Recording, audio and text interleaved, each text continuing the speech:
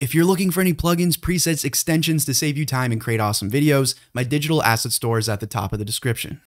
One of the biggest challenges we face as filmmakers is location. Sometimes you're limited by budget or time and you can't get to a great scenic spot to film. So instead, in this video, I'm gonna show you how we can use Unreal Engine's free virtual production tools to completely build a real-time 3D environment. This method allows you to easily change the background of your footage. It lets you have full control over the lighting, placement of the props, and the camera settings just like you would in real life. There's huge advantages to doing things this way. You're already seeing things like The Mandalorian in Hollywood utilizing this technology. Soon green screen's going to be dead, and this is going to be the meta in filmmaking. So let's talk about how we can do it ourselves at home using only Adobe After Effects and Unreal Engine. If this helps you, if you do enjoy, consider slapping a like on the video to help with the YouTube algorithm. Subscribe for more videos like this, and let's get started. All right, guys, so we're gonna go ahead and start within After Effects.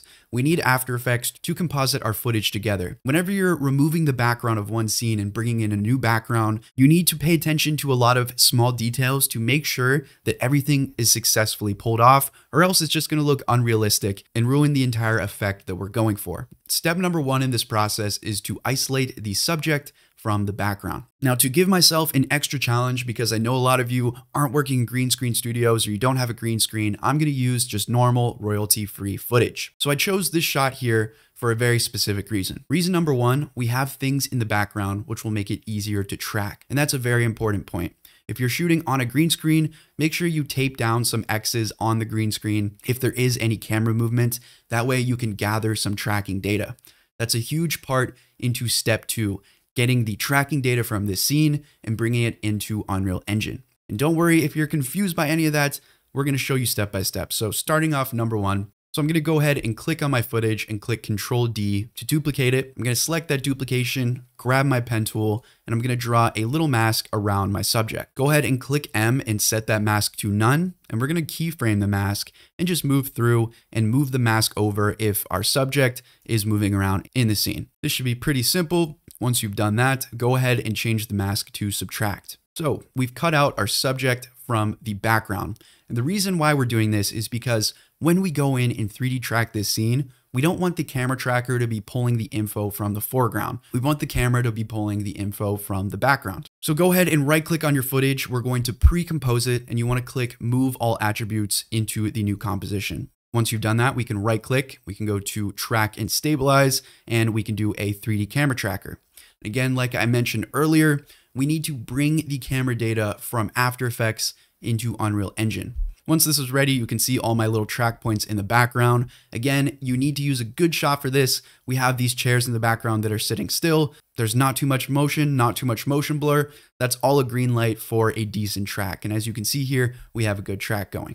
So I'm going to hover my bullseye over these chairs in the background. I'm going to right click and create a track solid and a camera. And that track solid is going to be our reference point for where the background is in the scene. Once you've done that, we need to save this tracking data. So the easiest way to do that is go up to File, Export, and do a Maxon Cinema 4D export. So even if you don't have Cinema 4D, as long as you have After Effects, you should have Cinema 4D Lite, which will allow you to do this. We're not doing anything crazy in Cinema 4D. You don't need to know how to use the software. You just need to be able to, to open it up and then refile. We're going to do one more step before we go into Unreal Engine, and that is removing the background from this shot. So let's hide all these layers for now. We're going to go back to the first layer that we duplicated earlier, just the normal footage, no adjustments added. And what we're gonna do is use the roto brush tool. To roto brush this out, we're gonna double click on the footage so that we're in a layer, which you can see up here. We're gonna grab the roto brush tool and we're just going to scribble and draw with the green brush. You guys can hold down Alt to change to the red brush, and you just want to refine this purple edge so that it's fully going around our subject. It doesn't have to be perfect, we can refine it a little bit later, but for now, let's just patch this up. So you can move over to the next frame by clicking page down on your keyboard, and you just want to go through frame by frame and make sure that this purple outline is around your subject. With the new update to After Effects, this should be super fast and easy. Once you get to the end, go ahead and click that freeze button. So once you've done that, click back over to your composition and you should now see your subject with a transparent background. So that's the basics of isolating our subject from the background. Again, I took the hard method some people don't have a green screen setup, they can't get out to a studio, whatever. This works the exact same way, just takes a bit extra effort. So now let's go to where we saved that Maxon Cinema 4D file from earlier. We're going to double click to open that up, again, either in Cinema 4D Lite or the full version of Cinema 4D if you do have it. Once you open it up, here's what it should look like. Now, just to visualize the idea a bit better of what the 3D camera tracker is doing, if I click off this button, you guys can see here's our camera. There's the track solid we set in After Effects. If I click play, here's all the camera movement that happened whenever they shot the scene. So that's all we're doing. We're just extracting that camera data and bringing that into Unreal Engine. And to do that, all you have to do is go up to File, Save Project for Melange, or if you're working in Cinema 4D, I think R21 and up, it should say Save Project for Cineware. Same exact thing, it's just a different name. So go ahead and save that again now we're ready to open up Unreal Engine. Now, if you have no experience with Unreal Engine before, I recommend you watch my last upload where I talk all about the basics of setting up the camera, the sequencer, lighting, etc. To download Unreal Engine, you just need to go to the Epic Games website and download the Epic Games Launcher. In the Epic Games Launcher, you go over to the Unreal Engine tab, and from there you can download Unreal Engine for free and we can launch the latest version. So I'm going to go to the Film and Video tab, create a blank project here, and start it up. So once you have Unreal Engine open, once you're ready to go, you want to go up to Edit, Plugins, and there's two plugins we need to enable. The first one is the Cineware plugin. Go ahead and just search Cineware and add in that Datasmith C4D Cineware import. Check that on. And the second one is the Image Plane plugin. Go ahead and just search for the keywords image plane, check that on, and then you're gonna need a restart for those plugins to be enabled. So go ahead and restart the engine. So now that we are back up and running, our plugins are enabled, we can click this little button here, go down to import assets, Datasmith, and file import. Now we can find that file that we saved from Cinema 4D Lite. Here's mine. I'll go ahead and click open and then okay. So now our 3D camera track is within Unreal. And to actually see that, what you're gonna see here is it created a few folders for you. You wanna go over to the animations folder that it created, and then you wanna double click on this level sequence that it has right here. And here is all our tracking data from After Effects. If you guys want to see from the camera view, you can click on that little camera lock button next to 3D camera tracker.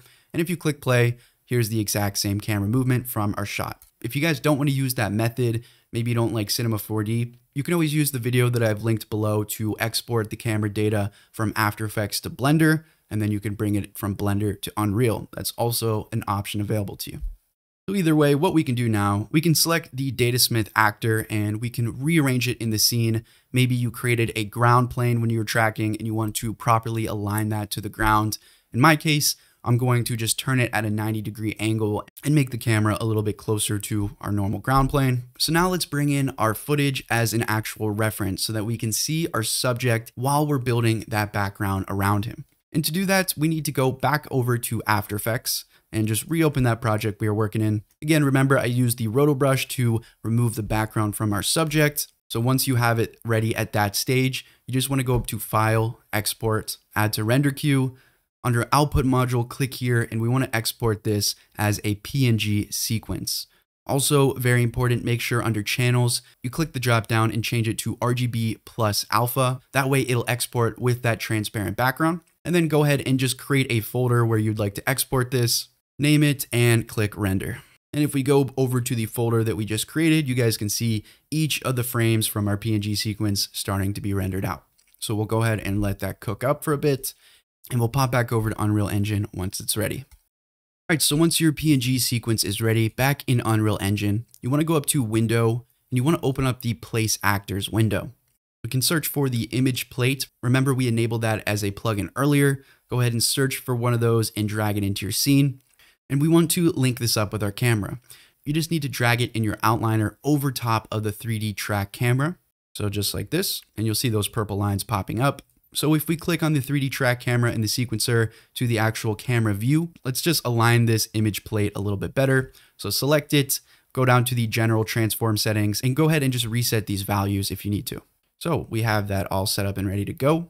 Now we need to replace the image plate with our PNG sequence. So I learned this setup from this channel here. I'm going to leave the link down below. Great channel for a bunch of Unreal Engine 5 tricks. Highly recommend you check him out. What I'm going to do is open up my content browser and go back to that animations folder from before. I'm going to right click here. I'm going to go over to media and I'm going to add a media player. Go ahead and check this on and click OK. Next, we'll right click and create a new material and we'll double click in here. You want to change the shading to unlit. You want to check on two-sided and then you want to open up your content browser and drag in that new media player media texture. Also, while you're here, go over to the blend mode for this material, change it from opaque to masked. You want to click Control D just to make a second of these textures. Go ahead and connect the RGB to emissive color. And on the bottom, go ahead and connect the alpha to the opacity mask. So save this material in the top left and we can close this window down. Let's go ahead and select our image plate. Make sure you're searching under all settings here and just scroll down a little bit under this image plate section, you want to find this advanced tab, and from here you can find the applied material. So let's change this material to our new material with the alpha enabled. Now let's go back to our content drawer. We're going to right click and we're going to go to media again, and this time we're going to add an image media source. So this is how we're going to load in our PNG sequence. So double click on the media source. Under sequence path here, just click the three dots and you want to find wherever you saved that PNG sequence that you rendered out from After Effects. Just select the first frame and click open. You also want to make sure the frame rate here is set to whatever the frame rate from your original footage is. So in my case, it's 25 FPS. And then we'll go up, click save and close down this window. So now let's link all these all together. In our content drawer, go back to the animation folder and find the media player. You just want to double click on that. And in here, you'll see your image sequence. Double click to enable it in the media player. And now you can see our PNG sequence. So let's go ahead and click save, close this down again. And we're gonna add this media player into our level sequence. So go over to the track button here in your sequencer, click on media track, and then click the plus sign for media and select that image sequence. Next, you wanna right click on the media in the sequencer go over to edit selection and under media texture, you want to select your media player right there. So just like that, we have it all linked up and ready to go. Now we can actually see our subject matter while we're compositing behind it. It's going to give us a huge advantage when it comes to making everything work correctly. So now all we have left to do is actually build the environment behind our subject here, render it all out, and then bring it back into After Effects for more cleanup. So when it comes to building your environment in Unreal Engine, you always need to pay attention to the lighting. There's a bright key light on the left side of his face. Other than that, not too much going on. Obviously, with the lighting that we have here, you don't want to place this footage in something like a desert environment because it's not going to composite together too well. So my best advice here is just to build an environment around what you're already given. And in this case, it's pretty simple. You have one key light on the face. We can pretty much put him in anywhere. You guys can right click in your content bin, go up to add Quixel content, and you guys can use any of these amazing Megascans, which come free with Unreal Engine to build your own custom environment. We talked about that in my last tutorial where we talk all about making music videos in Unreal Engine. You guys can of course use any of the foliage tools. You can use any tutorial out there on building any custom environment that you may want. Now, of course, if you feel a bit limited, you guys can browse the Unreal Engine Marketplace. Just go back to the Epic Games Store, go over to Marketplace. They have free for the month, which I've picked up a bunch of amazing modular packs or environments from there. Or if you're looking for something very specific, you guys can, of course, search through here. So I'm going to go with this alien world pack. Let's go ahead and create a cool looking alien-esque landscape. So it's very simple basically just dragging our assets around and placing them in the background. Everything comes in our folders, so we can literally just drag it into the scene, play with the scale, play with the transformation. Once we have a basic little setup going on here with our environment and some of these background props, I'm gonna go ahead and start adding in some rectangular lighting, uh, maybe even a height fog, Again, you can do all that just by clicking window, opening up that place actors window, and searching for whatever you need. So we have some fog, we have some nice lighting, which I'm going to position in the background here just to just to sort of mimic the conditions from our original shot, which is again key when it comes to making these two work together. Now, another thing you can do, which can add a lot more realism, you guys can go down your sequencer and find that 3D camera tracker and just open up the drop down here. On the right, you're going to see all of these camera settings. You can change those around just like you could with the camera in real life. So for example, if you want to blur the background a bit, you guys can go ahead and change your aperture. Let's lower this down to like a 1.8 instead of an 8. And then let's go down to the manual focus distance and just crank that value around a bit. You can use this debug here to see where the focus is really targeting or just use the eyedropper to give our background some nice realistic blur. So once you guys are ready to export this out and bring it back into After Effects for your color grading, your final cleanup, for some reason it doesn't let you export it as is. You want to click in your sequencer to create this camera cuts here, and then you can click this plus sign and assign it to the 3D camera track. So we don't need the other Cine camera actor that it automatically creates. We can go ahead and just delete that. And then again, click this button to lock into our 3D camera tracks, just like that. So we're ready to go. You guys can delete the track solid and you can even hide the actual image plane that we are using just as a reference. We only need the background because we're going to add in our actual footage back from After Effects. So go ahead and click your render button. I'm using the Media Queue plugin. You guys can go up to edit plugins and enable that. We talked about that again in my last tutorial. From here, I'm just going to export this as a PNG sequence. I'll set my output here and set a folder where I'd like to output all the images and then we'll click render local. So there we go. We have our render kicking off. Once this is done, we can go back into After Effects. Let's go ahead and right click in our project bin and import multiple files and then find wherever we specified in Unreal Engine for that export. Now, very important here, for some reason, anytime you import an image sequence, After Effects is always going to import it at 30 frames per second. So to fix that, just right click on the footage in your project bin, go up to interpret footage main, and you want to assume the frame rate at whatever the frame rate is of your footage. So again, you can see that in your project bin up here. Once you've done that, you can drag this clip out and it should fit with the rest of your footage and the movement for a background should fit the movement for our normal subject. And you can see how that's matching up if I just hide the layer from our old background and our new background. Pretty cool. So one final step, and this is only for those of you who aren't using a green screen, or maybe you are, but you still need some cleanup. You can see our roto brush had a little bit of trouble around the hair there. Now, instead of trying to painstakingly use the normal masking tools, you guys can use the refine edge tool. So to do that, I'm gonna pre-compose this footage again, just so we have it set back to normal. I'm gonna double click on it so that I'm in a layer, just like we would if we were doing a normal rotoscope. But instead of grabbing the roto brush tool, I'm going to hold down left click on that and I'm going to change to the refine edge tool. From there, it's just like using the roto brush. You just want to kind of paint around the edges of the hair where there's some issues. You'll see it kind of showing the alpha here, which is really nice. Just go through frame by frame and make sure any parts of the hair are painted over like this. Once you get to the end, go ahead and click freeze again, just like you would with the normal roto brushing. And once that's done, you can pop back over to the composition and you see we have a much cleaner looking mask here. If you guys still need to, you can refine that in the RotoBrush settings. Thank you After Effects for even adding that in because it is a super useful tool, especially when you're going about doing it like this. So there you guys go. I think it turned out pretty good. Again, we're not using a green screen. There may be some issues on the edges, so it's not perfect, but I think this is a great result. I think the background blends in a lot better. And again, with the ability to build this from scratch, really create anything that we want, control the lighting, control the camera, there's huge advantages to doing things this way. That's why I love 3D and being able to incorporate that 3D workflow into After Effects. It allows you to do things you couldn't normally. And with all these technological advances and tools like Unreal Engine for free for the average person to get their hands on all those Megascans, there's so many cool things you can do with this. So if you guys did enjoy, slap a like on the video, subscribe, do all that great stuff. As always, guys, thank you so much for watching. Thank you so much for supporting, and I'll see you guys in the next one.